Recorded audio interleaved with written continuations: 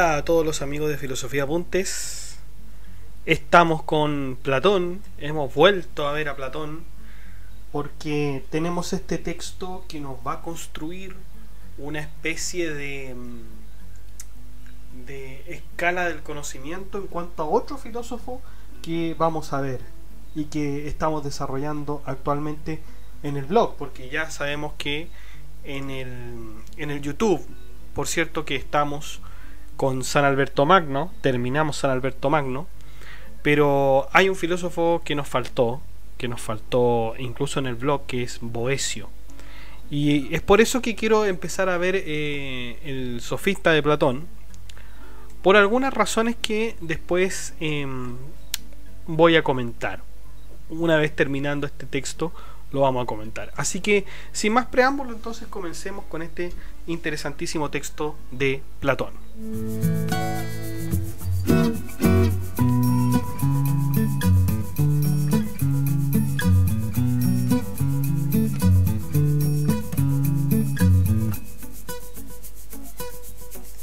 Bueno, em, eh, en el sofista hay por lo menos cuatro personajes.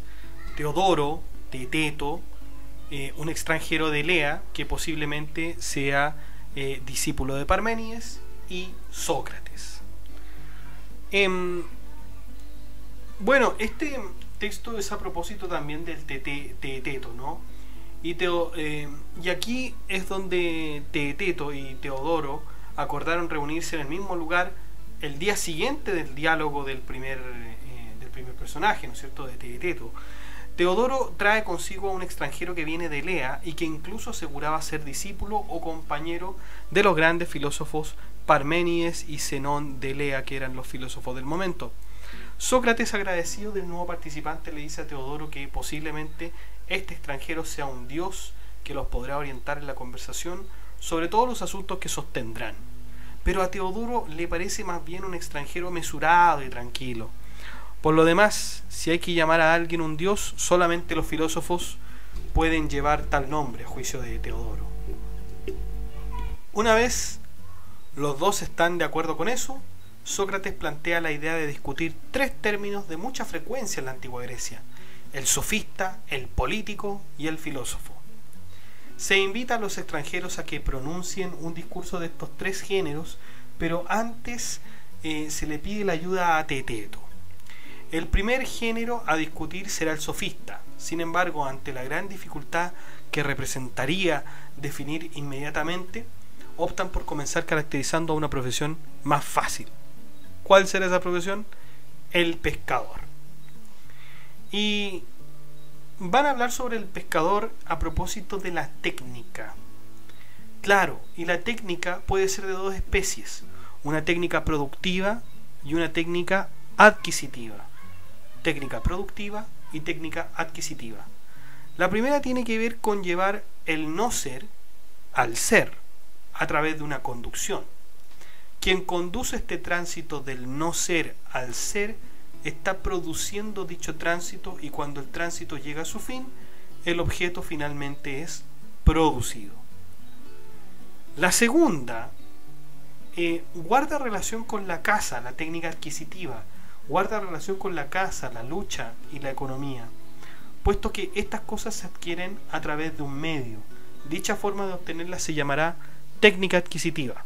En otras palabras, adquirir cosas ya producidas. Teteto nos dice que la técnica con la caña de pescar estaría relacionada con la técnica adquisitiva. Desde aquí, el extranjero divide en dos la técnica adquisitiva, en intercambio voluntario y apropiación. Por lo tanto, ¿qué es lo primero que teníamos? La técnica, eh, la técnica productiva y la técnica adquisitiva. Ahora, desde la técnica adquisitiva, dividimos este término en dos, en intercambio voluntario y apropiación. Dejando de lado el, el intercambio voluntario, eh, nos vamos a la apropiación y empezamos a dividir la apropiación, porque ésta se divide en dos resultados. Y así, la apropiación está a través de la lucha y a través de la casa. En la primera, las cosas están a la vista y en la segunda las cosas están ocultas. Claro, en la, lucha, claro, ahí tengo que ver. Y en la segunda, en la casa, eh, están ocultas. Están ocultas. Luego, eh, prefiriendo entre la casa y la lucha, se divide la casa. Y se puede dividir en otras dos cosas más la casa. La, la casa de las cosas inanimadas y la casa de las cosas animadas. De esta última obtenemos otra división que es entre los animales acuáticos y los voladores. Claro, esos son los que se cazan.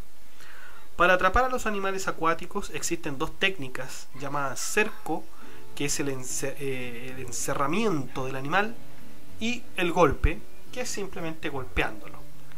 La técnica del golpe se lograría a través del fuego y la del cerco a través de la luz, y esta última se representaría como técnica de anzuelos. Y claro, si nosotros podemos observarlo eh, mejor, vemos que lo que se está haciendo acá es dividir la técnica eh, de alguna manera del pescador. Tenemos al pescador, tenía una técnica adquisitiva y otra productiva. Se divide la técnica adquisitiva, porque estamos hablando de la, queremos hablar de esa técnica. ¿Podríamos haberla hecho productiva? Claro que sí, pero queremos hablar de la técnica adquisitiva. Entonces comenzamos a dividir el intercambio voluntario y la apropiación. Perfecto, ¿qué vamos a dividir? La apropiación. Eso es lo que nos interesa. Podríamos haber eh, dividido el intercambio voluntario, por supuesto, pero lo que nos interesa es la apropiación. La apropiación, a su vez, se divide en lucha y caza. ¿Qué nos interesa? ¿La lucha o la caza? En cuanto al pescador, la caza. Eh, la caza es oculta y por lo tanto se, se divide en objetos animados e inanimados. Eh, objetos inanimados podríamos pensar un tesoro o algo así, pero el pescador necesita objetos animados. Entonces vamos dividiendo. Eh, y de los objetos animados también vamos, seguimos dividiendo entre los seres voladores, acuáticos. Obviamente si el pescador eh, está buscando peces acuáticos, dividimos después los seres acuáticos y em, vamos a la casa de ellos, a la forma de obtenerlos. Por lo tanto, eh, esta es una división que más tarde será conocida como diairesis. Diairesis. Em, y en cierto sentido es alcanzar eh, en ir dividiendo un concepto que a su vez tiene otras divisiones hasta llegar a la definición deseada. En resumen, sería alcanzar una definición por medio de división de conceptos. ¿Ya? Entonces, una vez que ya tenemos entendido cómo eh, se divide eh, el trabajo, la técnica del pescador, vamos con el sofista. Desde la técnica adquisitiva, ¿no es cierto? El pescador y el, sofista están cercanamente relacionados, pero se separan a partir de la caza de animales, puesto que el pescador caza animales acuáticos y el sofista, fíjense, caza animales pedestres. Partiendo de la casa de, los animales de caza terrestre, ocurre una nueva separación y se divide en caza de animales domésticos y salvajes. Tenemos eh, también otra nueva división, la cual sería la técnica de la persuasión y la caza violenta. De la técnica de la persuasión, obviamente porque estamos hablando de un sofista, se divide en dos también, en una técnica pública y en otra privada. Em, y claro, tenemos que pensar cuál era la, pedagogía, cuál era la educación que daban los sofistas. ¿Los sofistas cobraban o no por sus enseñanzas? Por supuesto que cobraban. Entonces, perfecto, tenemos que eh, escoger la, técnica privada y dividirla.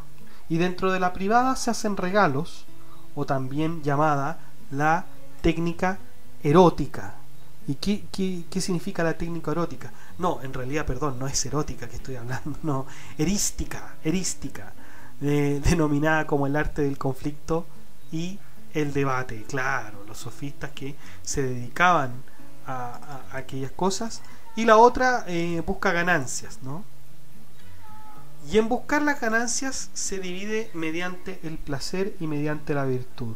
En esta última ganancia se encuentra el sofista. Por lo tanto, se divide el concepto de, sofista, ¿no es cierto?, de este modo. De este modo tiene que ser. de acuerdo con eh, Platón. Y finalmente, bueno, diríamos que el sofista es alguien que busca la, virtud por medio de sus conversaciones. O sea, claro, también hay una cuestión de debate, hay una cuestión de debate, hay algo que queremos alcanzar, pero al mismo tiempo se cobra por ello. La técnica adquisitiva en cuanto al intercambio.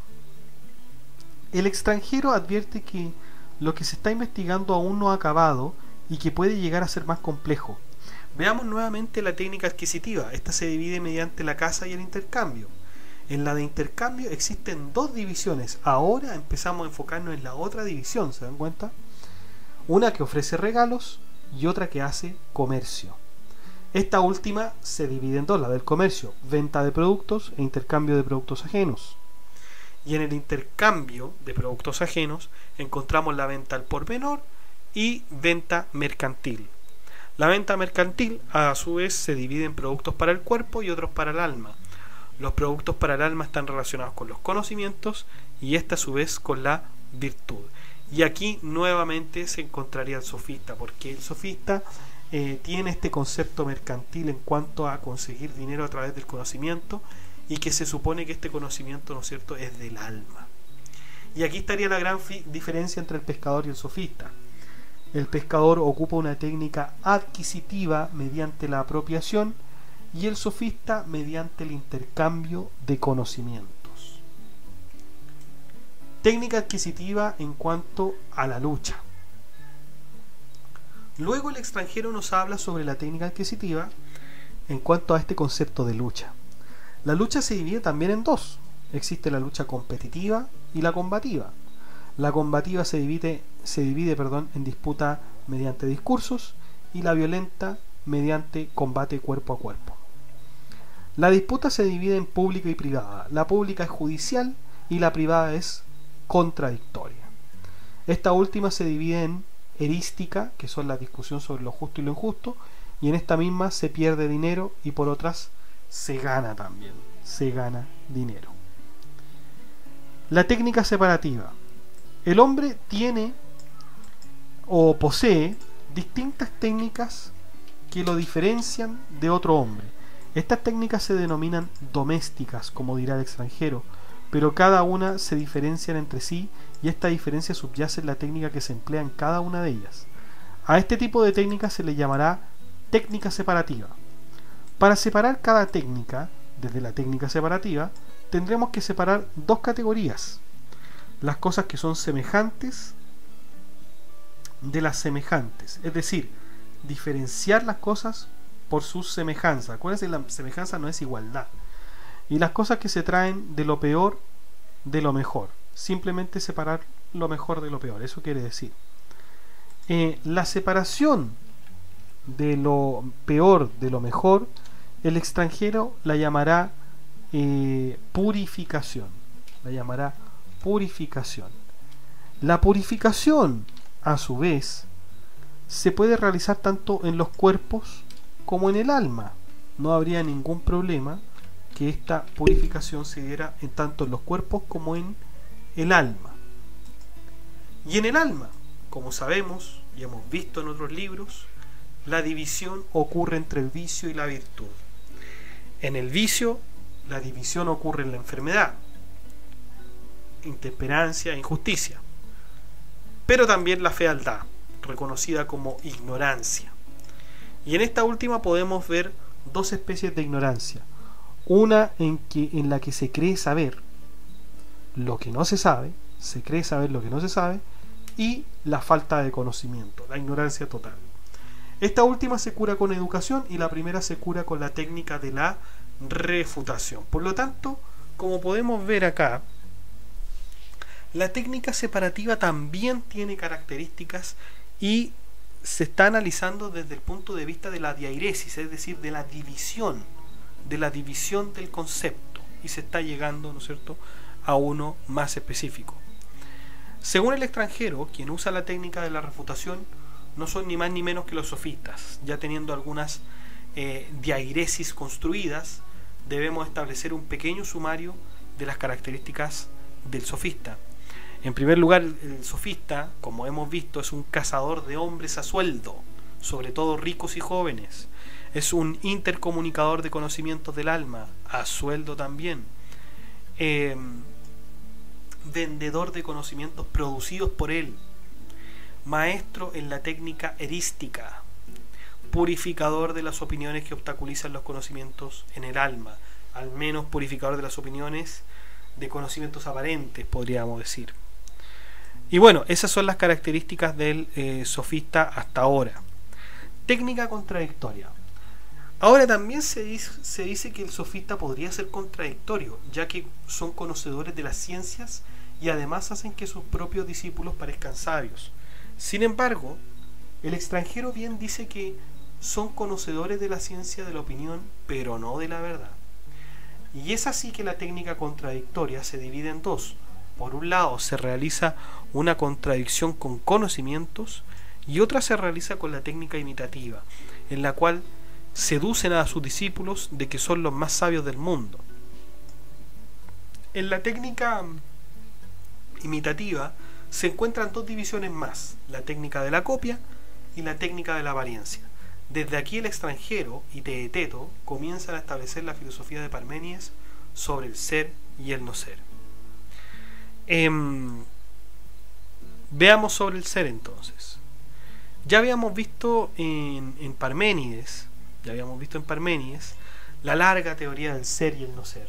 Recordemos que Parménides decía que el ser no podía no ser de ninguna forma. El, el extranjero le dice a Teeteto que es imposible decir que algo no sea, puesto que lo algo en su totalidad es. Lingüísticamente hablando, cuando decimos algo, aludimos a algo con existencia. Si dijéramos que la nada es algo, estaríamos eh, diciendo al mismo tiempo que la nada tiene existencia. Pero ¿cómo tendrá existencia la nada si ella misma significa la no existencia? Bueno, por otro lado, pareciera ser que el no ser tampoco se aplica a lo numérico. Si dijéramos o nombráramos las cosas que no son, las tendríamos dentro de una variedad de números. Si es que esas cosas que no son son tres, entonces tendríamos necesariamente existencia. Pero ¿cómo pueden tener existencia si no son? Lo mismo pasa si dijéramos que hay una cosa que no es. Esa cosa que no es ya está implicando una unidad. Y así los números no pueden ser aplicados a las cosas que no son. Habría una especie de contradicción. No solo se puede afirmar que los números no están involucrados con lo que no es, sino que lo que no es no puede expresarse ni lingüística ni numéricamente, a pesar de que lo estoy eh, expresando en todo caso. En otras palabras, lo que no es no puede sustentarse por sí mismo. Sin embargo, cuando digo que algo no es, al mismo, estoy diciendo, al mismo tiempo estoy diciendo que es algo. Y en fin, nos encontramos aquí con una aporía lingüística, con una aporía lingüística. ¿Y qué es una, qué es una aporía? Es un argumento irresoluble. Claro, porque ¿cómo vamos a hablar de la nada si la nada es nada? Es un problema lingüístico. A pesar de la aporía que se nos presenta con la idea de la nada, el extranjero y Teeteto retoman el tema para desarrollarlo bien. Muchos filósofos anteriores han afirmado que lo frío y lo caliente son si decimos que el ser es algo que es frío y caliente, entonces estamos diciendo que es algo más que uno. No obstante, si recordamos que en Parménides el ser era considerado como uno, estaríamos nombrando dos cosas, el ser y lo uno. Por lo tanto, ¿cómo es posible que el ser y lo uno sean una misma cosa, sean nombrarlos tenemos que nombrar dos cosas y no una? Aquí se presenta entonces una paradoja. Lo uno representa solo una unidad si le damos el ser, estaría representando dos cosas, la unidad y el ser. Pareciera ser que no se puede nombrar una cosa sin nombrar otra. El extranjero dice que para determinar algo que es, debemos decir que tiene cierta capacidad por naturaleza. ¿Son las cosas como la justicia, la belleza o la inteligencia cosas que son? Sí, porque estas virtudes tienen un efecto sobre el alma. Al tener efecto sobre el alma o una capacidad, podemos decir que son. No solo las cosas que tienen capacidad son, sino que también las cosas que pueden padecer. Por ejemplo, el alma. ¿Qué, qué duda hay de que el alma está ahí? Se podría afirmar que movimiento y reposo son cosas totalmente distintas. Podemos decir que ambas cosas existen y son al mismo tiempo. Sin embargo, ¿será posible que estas dos cosas sean sabiendo que el ser no está ni en reposo ni en movimiento? El ser no puede estar en movimiento o en reposo ni ser alguna de las dos, puesto que una cosa no puede ser dos ni mucho menos tres. De esta forma el ser no está ni en movimiento ni en reposo, sino que es algo distinto de ellos. ¿Cómo podríamos llamar una sola cosa que tenga muchas cosas en sí misma? El extranjero le dice a Teeteto que es el hombre quien tiene miles de atributos y es uno al mismo tiempo. El ser no puede tener dentro suyo dos conceptos contrarios y mezclados. El reposo no puede estar en movimiento ni el movimiento en reposo. Finalmente se antepone la tesis de Parménides cuando se dice que lo que es, es y no puede no ser. Em, bueno, el extranjero y Teteto, una vez convencidos del ser y el, no ser, se, se disponen a dar otra revisada con respecto a lo que es y no es. Lo que no es no es algo contrario de lo que es, sino que solamente es distinto. Tomemos la siguiente palabra. No grande. Esta es la palabra, no grande. La frase, perdón, no grande. La negación que ustedes ven, ¿no es cierto? Y pueden escuchar, no grande, eh, no, no expresa contrariedad contra la palabra grande. Tomemos también la palabra ciencia. La ciencia es una, pero dentro de ella hay muchas cosas que se distinguen en sí mismas. La ciencia médica, la social, planetarias, etc. Otra palabra, por ejemplo, cuando decimos lo no, lo no bello, necesariamente hablamos de algo distinto de lo bello. De hecho, hablamos de lo bello cuando decimos lo no bello, hablamos de lo bello de todas formas. Al no ser contrario dichos conceptos, como lo no grande, lo no bello, lo no justo, no tienen diferencia con lo grande, lo bello y lo justo. Porque estamos hablando de lo mismo. En esencia estamos hablando de lo mismo. Una vez solucionado lo que es y lo que no es, el extranjero y Teeteto quieren saber si el razonamiento y la opinión se encuentran en lo que no es y para eso recurren a las palabras. En el lenguaje existen los verbos que describen acciones. Por otro lado tenemos los nombres, que son los sustantivos, que son los que ejercen las acciones. Para armar un discurso es imposible que pueda hacerlo en base a verbos. No, no, podemos armar un discurso en base a verbos, en, base a solamente acciones. Alguien tiene que hacerlo, las acciones. Tampoco podemos hacerlo a base de sustantivos solamente, entonces necesitamos eh, sustantivos y verbos. Cuando armamos un discurso con nombres y sustantivos, entonces estamos ante un discurso. Estas em, dos estructuras gramaticales determinan eh, cosas mientras que diciéndolas por sí solas no tienen sentido lógico. La unión del verbo y el sustantivo formaría lo que llamamos frase. ¿Cómo podemos saber que las frases son? El extranjero nos lo muestra con las siguientes frases. Por ejemplo, Teeteto está sentado o Teeteto vuela. Estas dos frases tienen una cosa en común, Teeteto, pero por otro lado tienen algo diferente. Más allá de la diferencia del verbo, las frases representan una verdad y una mentira. La primera es verdad y la segunda es falsa. El extranjero asegura que el pensamiento y el discurso son lo mismo, solo que el pensamiento es un discurso sin voz que se lleva a cabo en el alma.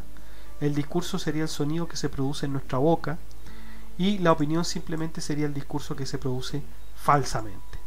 De esto se puede deducir que, como un discurso falso es parte de la opinión, también puede ser parte del razonamiento, pero solo de modo aparente. Por supuesto, si yo digo que Teeteto vuela, estoy diciendo algo que es falso y que por lo tanto no existe. Pero Teeteto sí existe y por lo tanto en este caso lo falso participa de lo verdadero. Es decir, el ser participa del no ser. Hay una participación. No hay una, una absoluta, una absoluta em, separación que nosotros podamos eh, hablar, ¿no? Em, así el discurso falso pareciera ser una de las disciplinas con la cual los sofistas se sirven. recordemos que en la diairesis anterior, el sofista se nos aparecía como alguien con técnica de caza, técnica de lucha y técnica de mercantil. Desde aquí se produce otro tipo de técnica, la técnica productiva. ¿Por qué lleva este nombre? Recordemos que como el sofista es un imitador, la producción de imágenes se lleva a cabo por medio de esta técnica. Técnica productiva. Eh, esta técnica se divide en dos especies, de producción humana y divina. La producción humana se encarga de la producción de cosas reales y la producción de imágenes. La producción divina es la que hace las cosas y las imágenes que de éstas se forman. Luego de la producción de imágenes se derivan las copias y las apariencias. La de las apariencias se realiza por medio de un cuerpo o de un instrumento. Por medio del cuerpo se logra con conocimiento e ignorancia. Si se hace por medio de la ignorancia, se descubren dos tipos de técnicas, la técnica de la opinión imitativa y la técnica de la opinión científica. El imitador suele ser simple e irónico y finalmente estas cosas las desarrolla o en público o en privado. Y obviamente las hace en privado el sofista, ¿no? Así que así termina este libro, ¿no? Como el sofista se nos presenta como en su verdadera forma, como alguien que caza a los jóvenes y cobra por sus servicios e imita de forma privada. En resumen, sería un imitador. Y esto ha sido, ¿no es cierto?, el Teeteto, chicos. Eh, es un texto que define al sofista, pero más que definirlo, nosotros debemos poner atención a la división que hace acá eh, Platón. Esta división eh, es sumamente importante, no, no es inocua se hace esta división porque en el fondo, claro, se quiere descubrir un concepto y fíjense cómo se hace. Se hace desde lo más general hasta lo más particular.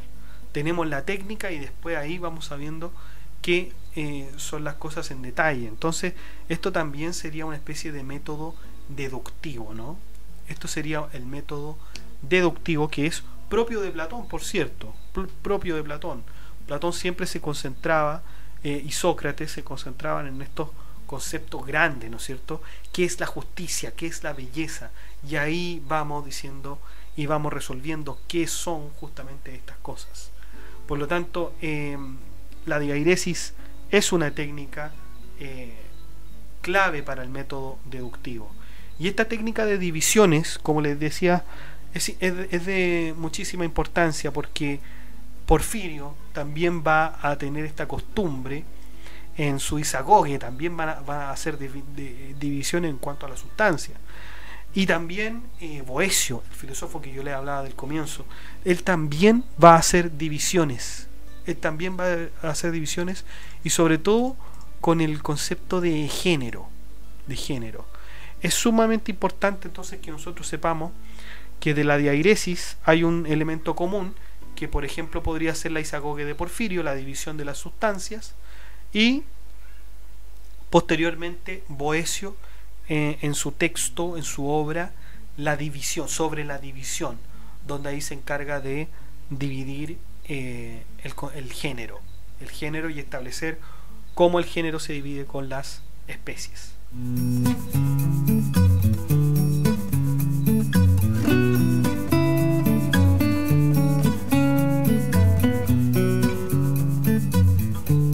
Chicos, y eso ha sido todo. Muchas gracias por escuchar este podcast. Si le ha gustado, de like, comparta, eh, suscríbase, acceda al blog que está en la descripción del video, haga soporte en Patreon, en PayPal.